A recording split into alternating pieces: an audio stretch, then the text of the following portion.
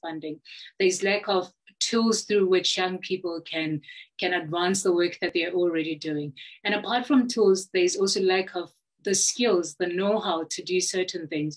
So really, if we can have that interchange between existing organizations working in peace and security and training and upskilling and enhancing the skills of young people that have youth-led organizations that deal with peace and security issues, then that is one of the partnerships that will be key to ensuring that young people are brought to the table, but not just brought to the table, they participate in a meaningful and, and more output-based way.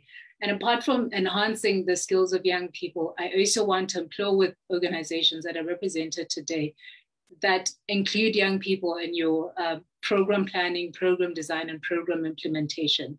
Because you only know through experience and you have experience through platforms, various platforms that we're given.